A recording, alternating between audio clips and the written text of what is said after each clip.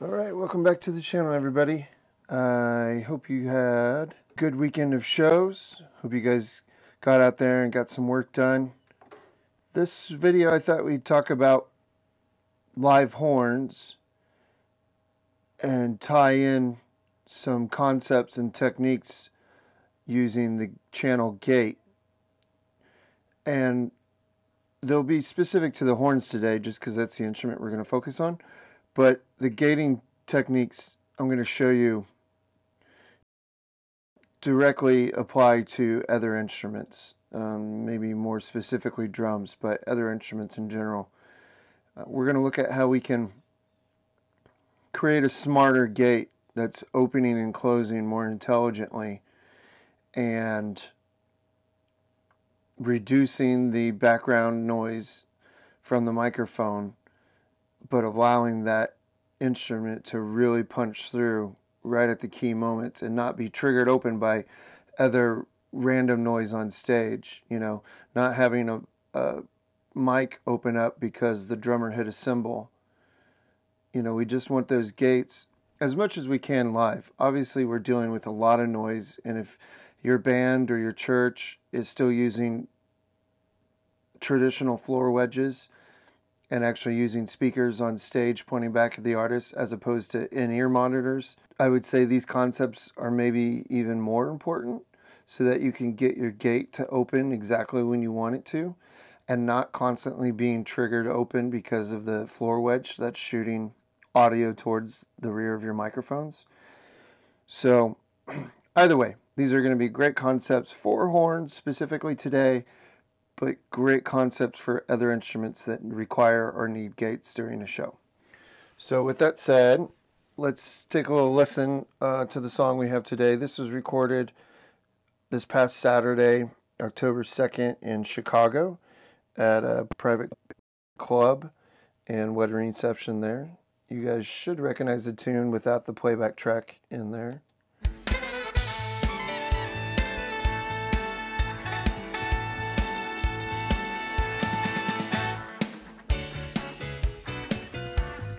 So I'm pretty sure the tune's going to be recognizable to a lot of you guys. And I brought it up because, you know, it has a great horn arrangement. As you can hear. So what I want to look at is both EQ and gating options for the horns specifically. So let's pull up just the horn track here. And let's go look at our instruments. So far I don't have any EQ besides a little bit of low cut uh, filtering going on. I do have my gates on. I'm going to take those off. We're just going to listen to the raw audio from the live microphones.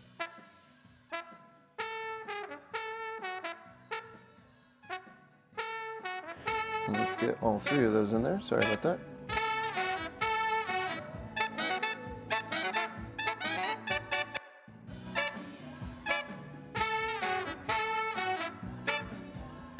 So by themselves, they sound pretty great already and don't really need much EQ. But in a live situation, trying to get, you know, the most out of our PA and get a, um, you know, get our subwoofers active only when they need to be for kick drum, bass guitar and stuff. We don't want low end rumble going into our subs. So we're just going to take a look at each horn individually here and make some gating decisions. So we have our trumpet. And we just have a little bit too much low end going on. That is going to affect our overall PA. So we're just taking our low shelf in here, cutting out a little bit. And the RTA these bar lines that are jumping up and down showing you the frequencies. That's your RTA. It's a real-time frequency analyzer. The RTA is going to be kind of key in this discussion today about gating, but also EQ. We can really see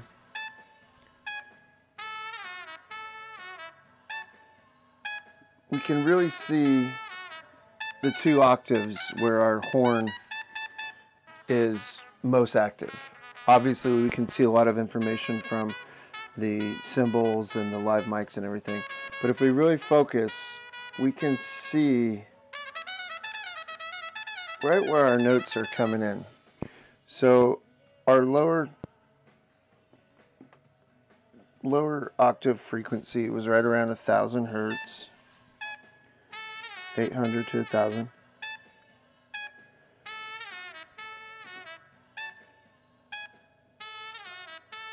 and then again up around 2k so we're just pulling a little bit out of there and I'm going to warn you guys individually by themselves our horns may not end up sounding great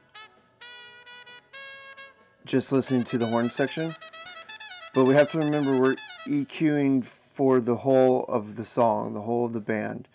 And if there's too much information in our horn microphone or any microphone that isn't specific to that instrument, even though it helps to reinforce the body of that instrument, sometimes we, a lot of times we have to compromise and cut out information that adds body and warmth to that instrument on its own, but in a whole setting where it's not soloed up and we have the entire band playing through the PA.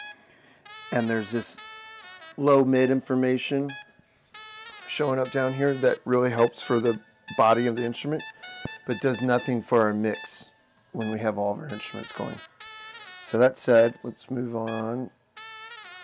Pull for our trombone.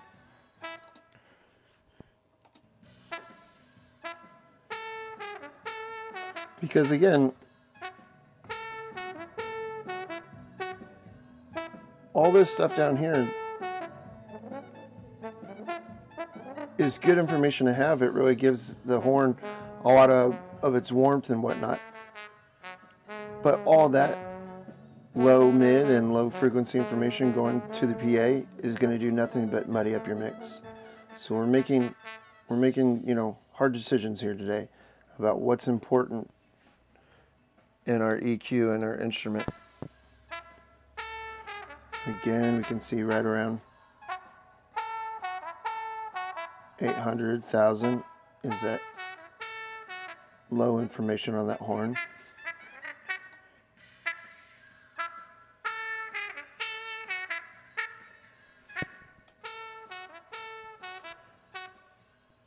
And then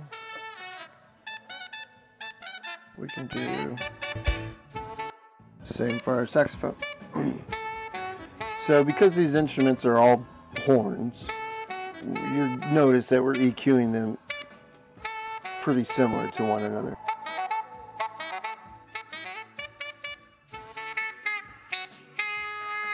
You know, they generally,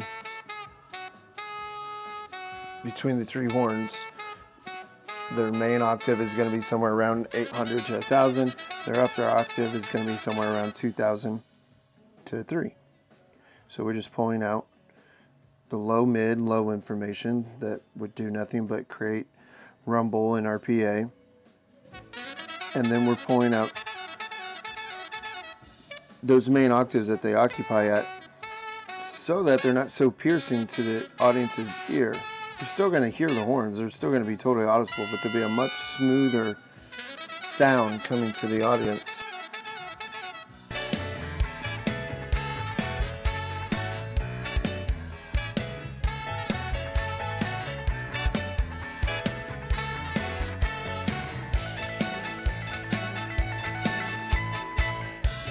I just like that guitar line. So there's our horns EQ'd up. And if that was all we would do to those horns, we'd be golden. Uh, horns are one of the instruments that are nice because they're so loud that your microphone volume, your input level gain is usually turned down quite a bit because when that horn hits that mic, it really pops through the PA in a great way. So as a result, a lot of the stage noise, monitors, live drummer, isn't in those microphones as much as like a human voice would be. Because the horn's so loud and the input gain is so low, you know, if we listen to a section where the band's just playing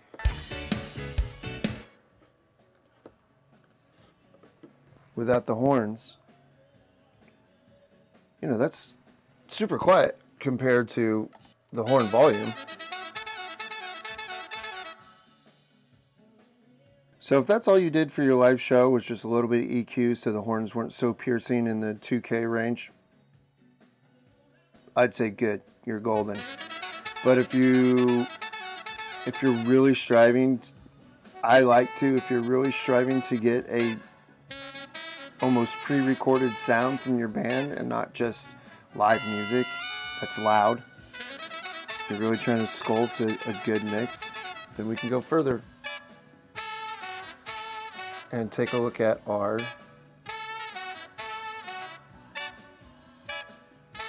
gates and what they can do for us.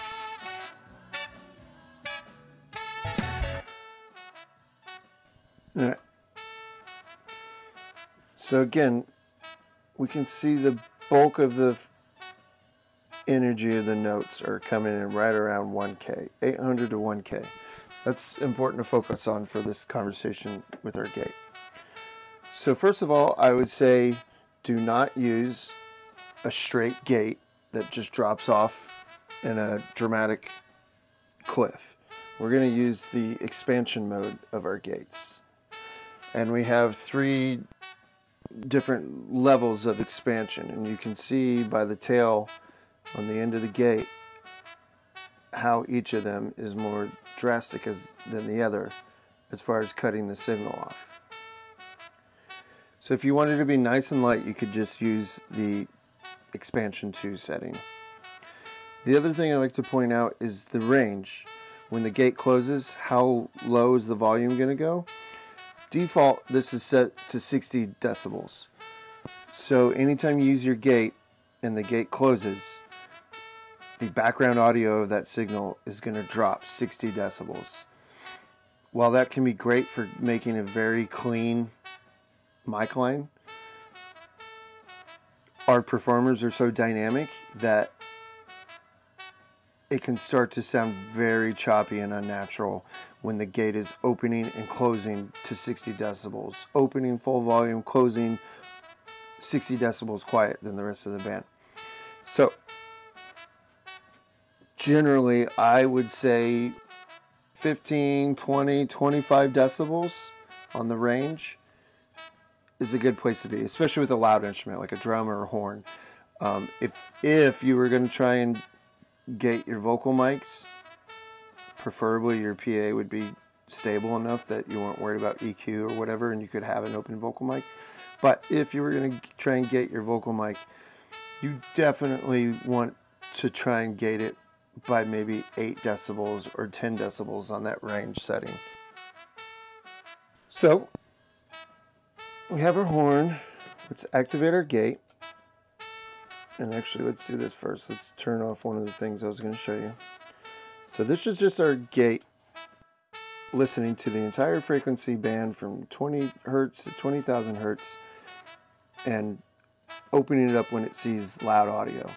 In this case, the horn is the loudest thing in the audio being fed to the gate. So it's doing a pretty good job of opening it up and closing when it should. And again, if that was where you wanted to stop, I'd say good. If you want to go a little bit further, let's do that. Before we do, the other thing I'll point out is my attack is set to zero so that as soon as the gate hears the audio I'm trying to open the gate with, it opens. And show you what it sounds like if we start backing that off.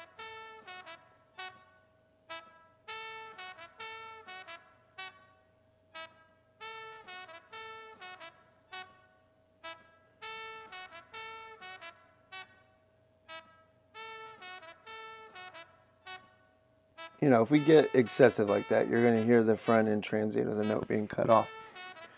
And I would say, especially with drums, that's going to be a problem because a lot of the drum is that first millisecond of attack. So if your gate isn't set to zero milliseconds on a drum, you're going to start noticing the front end of your drum hits being cut off.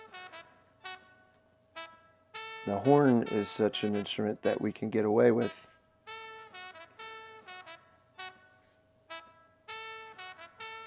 maybe 20 milliseconds. And then my hold, usually guys, I honestly just keep my hold and release around noon. Especially on the X32 and 32, that's a nice safe place to be on your gate. If, if you don't want to overthink it, just set these to noon. Okay. And then, because we're going to go a little bit further, we're going to go and there's two pages to the gate. We're going to page down to the second page here. Page one, page two.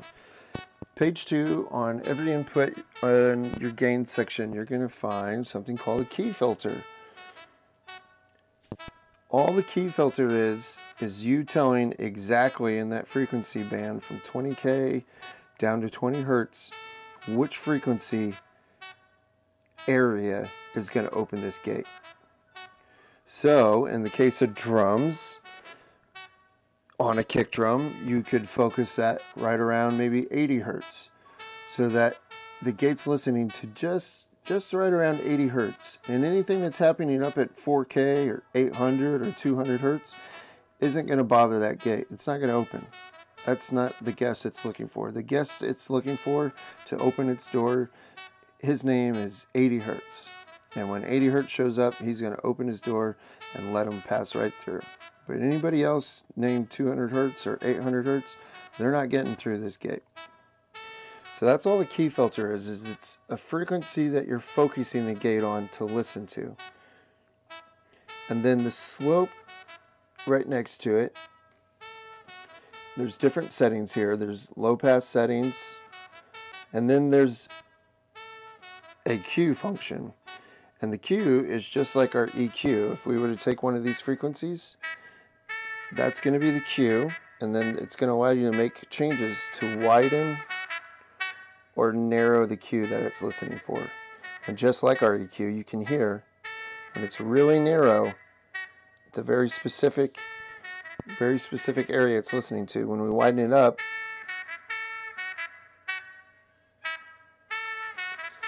you know, we can hear quite a bit more of that horn, not just a very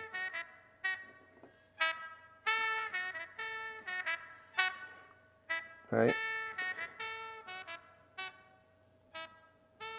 So let's go back over to our gate. So that's the sloping Q. So on a 1 Q, it's going to be very narrow like this. And then as you go out to two, three, five, and 10, the frequency it's going to be listening to is going to widen out and that can be advantageous or it can if you get too wide it can start opening your gate too much. It's listening to too wide of a frequency band and now it's getting triggered by things you don't want. So you're trying to find the happy medium of how sharp to make that Q so that it just opens when you want it to.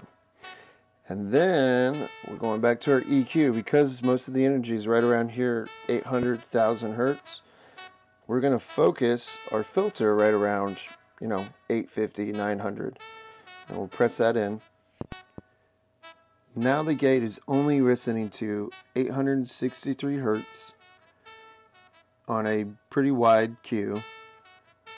So it's probably getting 800 to 900, you know, 750 to 1000, something like that.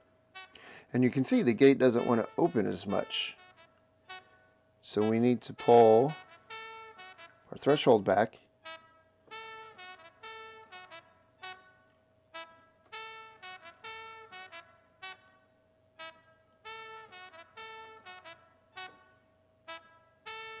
Now you can see our gate is just opening right around a thousand hertz just for that horn.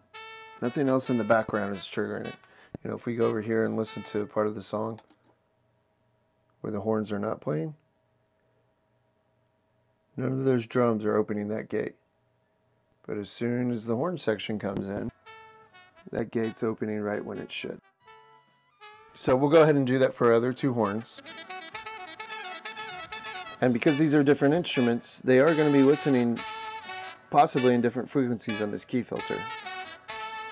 So you just need to experiment and if you need a visual reference, you can always go back to your EQ and check out your RTA.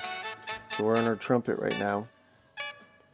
You can see a lot of right around 800, right around 1500. So and go back over to our gate.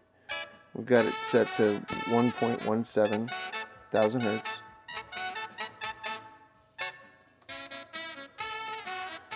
And we can see that each gate is just opening for the guest that's invited.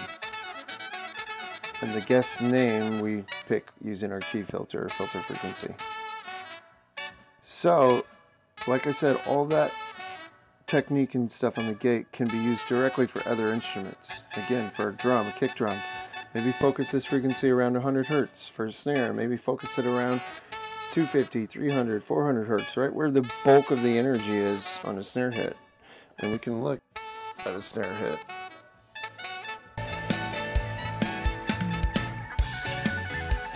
Right here at 225, you can see there's a, just a ton of energy focused right there. So if I was going to use my key filter on my gate, it might be the first place I start to see if I can get it to open only for the snare. You know, you might fish around, but you can definitely use this as the indicator for what should open your gate. Here's our kick. You can see a bunch of energy right around 100 hertz. Bunch of energy right around 50 hertz, obviously, because it's an octave lower than 100. So if there's a lot at 100, it's probably going to be a lot at 50 hertz, because those are octaves.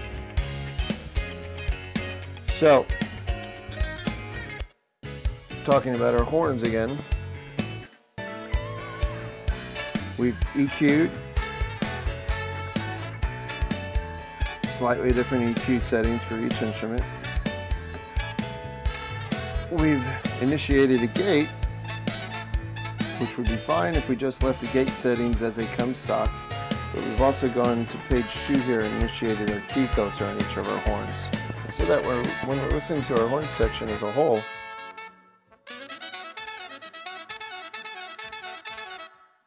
those mics are just opening for the horns.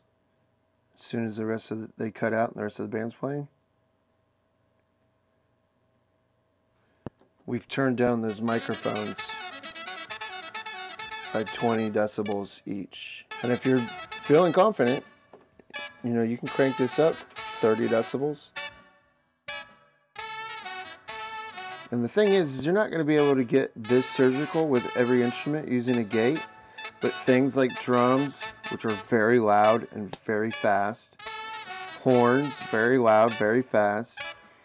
These instruments that are really loud will allow you to tailor their gates so they open specifically when they want. And you're not going to be able to get away with that on every instrument, but the instruments you can, if you can close those microphones by 25, 30 decibels when they're not being used, when the tom drums aren't being played, if you can close those microphones and turn them down automatically without having to think about it, without you physically going and grabbing a fader and turning it down 20 decibels, if you can close six, eight, ten microphones when they're not being used, you're going to have such a cleaner mix coming through your PA. If you really want your vocalist to shine, but you've got tom drum microphones open, you've got horn microphones open, you've got, you know, whatever. Uh, maybe the guitar player is using an acoustic, but his electric guitar amp is still humming away in the background and that microphone's wide open through the PA. If his amplifier is just sitting there humming on standby, you know, low at full volume through the PA that's doing nothing for your mix but creating, you know, confusion. So those are just some concepts that I wanted you guys to think about, focus on.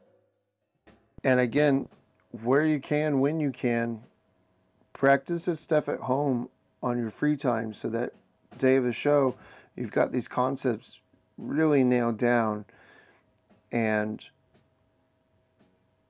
you can implement them with confidence. Because I'll tell you what happened to me, and I'm sure can happen to a lot of you guys, is you learn a concept like this, but you don't practice at home, so you're not you're not super confident in how to implement it and how to carry out in a very stressful live situation. So when it comes time to doing it, you don't do it because you'd rather have that microphone up and operating than silent and dead because you made some bonehead decision that you weren't confident in. So a lot of times guys they'll know these concepts but they're not confident in implementing them. So when it comes time for the show, they'd rather that microphone be open, wide open, just spilling noise than potentially implementing a gate or something else, you know, and having that mic not work when that person's supposed to be playing. So it's really important to practice this stuff at home, guys. Anyway, hopefully that video was helpful. If you guys like this video, make sure you check out more. Please subscribe. We're really trying to get up there with our subscription and spread all the good news to everybody. So we will talk to you guys soon. Have a great week.